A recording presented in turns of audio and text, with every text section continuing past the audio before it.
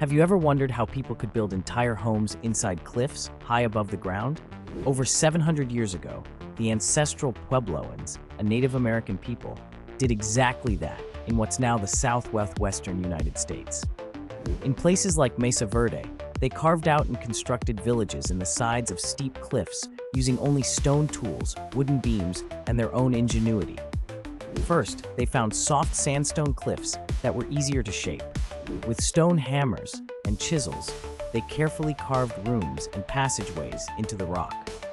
They also gathered sandstone blocks and used mud mixed with water from nearby springs to make adobe mortar, which held the blocks tightly together. The Puebloans built sturdy ladders from tree trunks to climb up and down, making their homes safe from wild animals and invaders.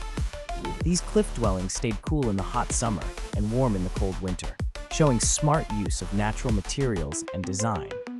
Each room had a special use, some for sleeping, others for cooking, and some for ceremonies and gatherings.